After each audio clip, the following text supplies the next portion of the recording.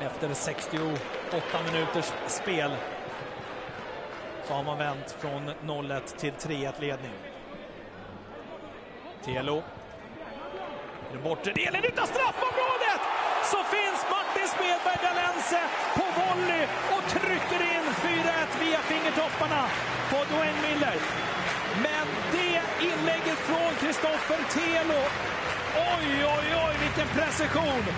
Och Martin Smedberg Dalense gör inga konstigheter utan trycker in bollen. Men kolla här vänsterfoten från eh, Telo. Pang!